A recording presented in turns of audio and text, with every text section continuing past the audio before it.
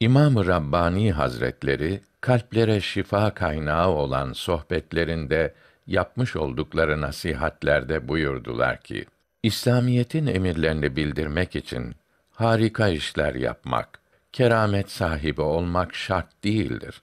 Bilenlerin bilmeyenlere öğretmeleri lazımdır.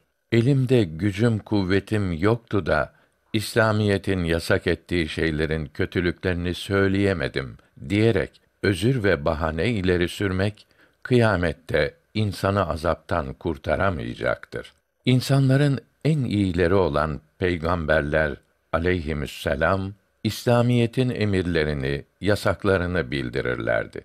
Ümmetleri mucize isteyince mucizeleri Allahü Teala yaratır. Bizim vazifemiz onun emirlerini bildirmektir buyururlardı. Allahü Teala dilerse ümmetlere merhamet ederek inanmaları, saadete kavuşmaları için o anda mucize yaratırdı. Her ne olursa olsun İslamiyeti bildirmek, gençlere öğretmek, faydalarını açıklamak, düşmanların yalanlarını, iftiralarını cevaplandırmak elbette lazımdır. Bilenler bildirmezlerse cezadan, azaptan kurtulamayacaklardır.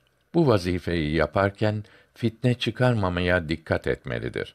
Dikkatle çalışırken kendine bir sıkıntı gelirse bunu nimet bilmelidir.